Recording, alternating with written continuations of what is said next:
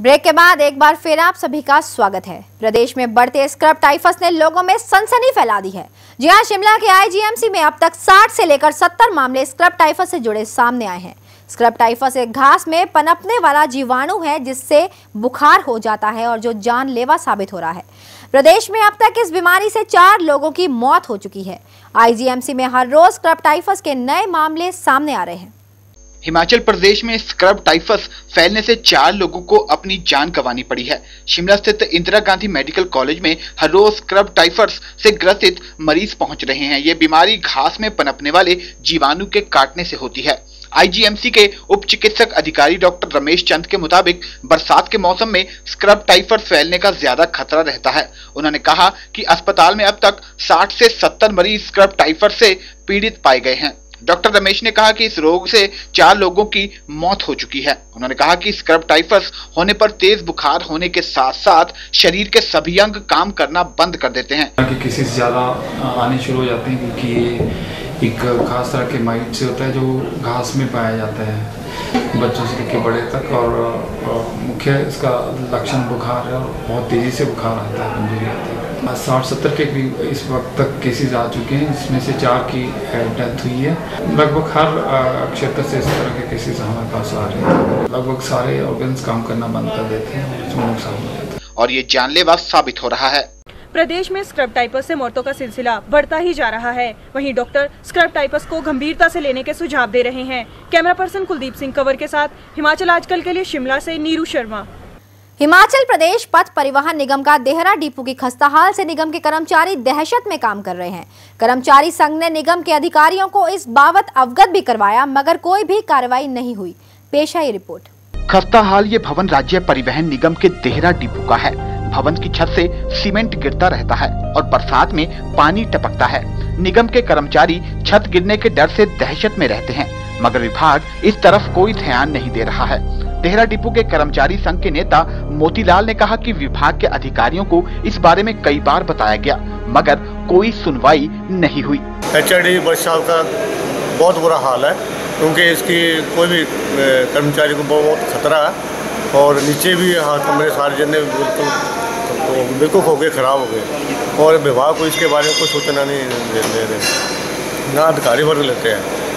कई बार बोला हमने कि वर्षा के जो कमरे हैं वो गिरने वाले वो पूरी गिरने वाली सारी कमरे का इतनी हालत ख़राब है पूछो मत। और बैठने के लिए बड़ी मुश्किल हो जाती है। खाना पीना बैठने के लिए सहन रहने के लिए। दूसरी ओर देहरा डिपो के प्रबंधक महेंद्र सिंह राणा ने कहा कि महाप्रबंधक को इस बारे में दो साल पूर्व बताया था और एक बार टेंडर भी हुए थे मगर आज तक कोई काम शुरू नहीं हुआ। इसमें जैसे आपने भी अभी देखा है, हम भी इंस्पेक्ट किया है, इसमें काफ़ी खतरा है बिल्डिंग गिरने का डर है बरसात के दिनों में। तो काफ़ी सावधानी से एम्प्लॉई जो कर्मचारी हैं, यहाँ पे बैठना पड़ता है। ऊपर से छत से पानी भी आता है। तो काफ़ी नुकसान भी हो रहा है रिकॉर्ड का। यहाँ पे काम करने का उचित स्थान नहीं है कर्मचारियों के पास। देहरा से गुलशन धनोवा सेवन सी हिमाचल आजकल। प्रदेश कांग्रेस कमेटी के सदस्य जितेंद्र चंदेल ने भाजपा सरकार पर बिलासपुर की अनदेखी का आरोप लगाया है। उन्होंने कहा कि विकास के नाम पर प्रदेश सरकार ने कुछ नहीं किया, बल्कि केंद्र की योजनाओं को अमली जामा पहना प्रदेश सरकार वाहवाही लूटना चाहती है। प्रदेश कांग्रेस पार्टी ने राज्य सरकार पर विकास के मामले में भेदभावपूर्ण रवैया अपनाने का आरोप लगाया है। कांग्रेस समिति के सदस्य जितेंद्र चंदेल ने बिलासपुर में पत्रकारों से बातचीत में कहा कि भाजपा सरकार ने बिलासपुर जिला से विकास के मामले में जमकर भेदभाव किया है और सदर की जनता को धोखा दिया है। उन्होंने कहा कि भाजपा के नेता झूठ बोलकर केंद्र सरकार से आने वाले पैसों को अपना बताकर जनता में वाहवाही लूटने का प्रयास कर रहे हैं। हिमाचल प्रदेश के अंदर भारतीय जनता पार्टी की सरकार बनी बिलासपुर सदर के साथ धोखा किया। भारतीय जनता पार्टी के चाहे मुख्यमंत्री बता दे, भारतीय जनता पार्टी का सांसद बता दे, या भारतीय जनता पार्टी के जो यहाँ से विधायक और मंत्री रहे, जगत प्रकाश नड्डा, या भारतीय जनता पार्टी का कोई और नेता बता दे कि भारतीय जनता पार्टी की सरकार के समय कोई कार्य शुरू हुआ हो, जिसका शिलान्यास भारतीय जनता पार्टी के मंत्री या मुख्यमंत्री ने किया हो, और उस कार्य को पूर्ण भी भारतीय जनता पार्टी की सरकार के समय ऐसा कोई कार्य हमें नज़र नहीं आ रहा बिलासपुर सदर कांग्रेस के अध्यक्ष कर्नल अंबा प्रसाद ने बताया कि कांग्रेस पार्टी 17 सितंबर से पार्टी का प्रचार अभियान शुरू किया जाएगा और बूथ स्तर तक पार्टी की विकासात्मक नीतियों का प्रचार किया जाएगा। Parvinder Sharma seven C Himachal Aajkal Bilaspur. Una जिला के कुटलैहड़ विधानसभा क्षेत्र में जिला स्तरीय खेलों का आयोजन किया गया, जिसमें ज़िले के सैंतालीस स्कूलों के लगभग 450 खिलाड़ियों ने हिस्सा लिया। मुख्य संसदीय सचिव वीरेंद्र कंवर ने विजेताओं को सम्मानित किया। ऊना जिला के विधानसभा क्षेत्र कुटलैहड़ के धमांदरी राजकीय उच्च विद्यालय में जिला स्तरीय खेलों का समापन हुआ। इस अवसर पर मुख्य संसदीय सचिव, शिक्षा एवं लोक निर्माण वीरेंद्र कंवर मुख्य मेहमान के रूप में शामिल हुए। जिला स्तरीय इन खेलों में ज़िले के सैतालीस स्कूलों के लगभग 450 खिलाड़ियों ने हिस्सा लिया। इस अवसर पर वीरेंद्र कंवर ने जीतने वाली टीमों को सम्मानित भी किया। इस मौके स्कूली बच्चों द्वारा सांस्कृतिक कार्यक्रम भी पेश किए गए।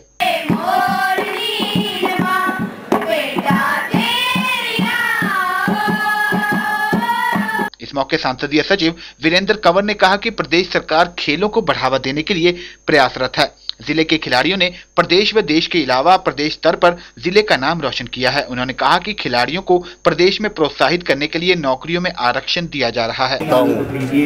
कि जिस तरीके से पिछली बार जिला ऊना जो है वो खेलों में काफ़ी अग्रणी रहा, इस पर भी जो है वो राज्य स्तरीय गेम्स हैं, उनमें अग्रणी रहे। इसके लिए मैं उनको बहुत बहुत शुभकामनाएँ देता हूँ। आज जहाँ प्रदेश के अंदर गाँव स्तर से लेकर के जो हम ये कह सकते हैं कि शिमला स्तर तक जो है, वो माननीय धूमल जी ने एक आधारभूत ढांचा खेलों का खड़ा किया है। आज पंचायत स्तर तक के ऊपर जो खेल कूद के लिए मैदान बने और जिस तरह की व्यवस्थाएँ जो की गई हैं उससे पूरे प्रदेश के अंदर एक वातावरण बना है। ऊना से हरपाल सिंह सेवन सी हिमाचल आजकल। खबरों के इस सफ़र को यहाँ पर रोकते हुए अब आपको दिखाते हैं देशभक्ति से सराबोर कर देने वाला ये देशभक्ति गीत। कहते भी गए कहते भी गए आज़ादी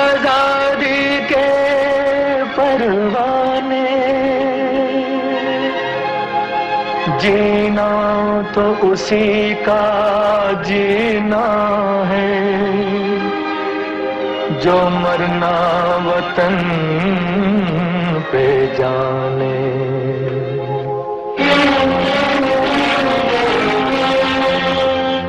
ऐ वतन ऐ वतन, हमको तेरी कसम, तेरी राहों में जहाँ तक लुटा जाएँगे, भूल क्या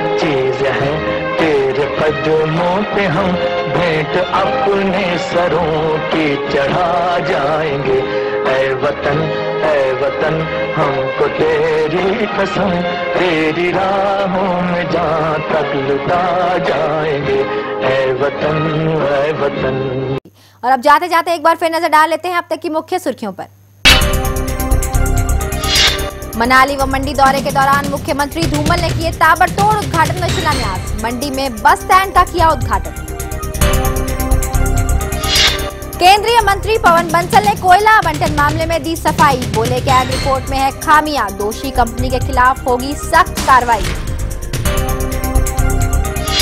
भाजपा सांसद अनुराग ठाकुर ने नालागढ़ व दून क्षेत्र में की ताबड़तोड़ जनसभाएँ। केंद्र पर लगाया प्रदेश से भेदभाव का आरोप। तृणमूल कांग्रेस ने भी हिमाचल के चुनावी मौसम में ठोकी ताल। प्रदेश की अड़सठ विधानसभा सीटों पर चुनाव लड़ने का किया ऐलान। देवभूमि, हिमाचल प्रदेश की ज्यादातरीन खबरों को देखने के लिए हर रोज इसी समय पर देखते रहिए सेवन सी हिमाचल आजकल। फ़िलहाल इस बुलेटिन में बस इतना ही। है मुझे यानी कि दीक्षा कोहली को दीजिए इजाज़त। देश और दुनिया की तमाम खबरों को देखने के लिए आप बने रहिए सेवन सी के साथ। नमस्कार। इन नजारों की याद आएगी जब ख्यालों में इनको लाओगे। हिमाचल भुला ना पाओगे।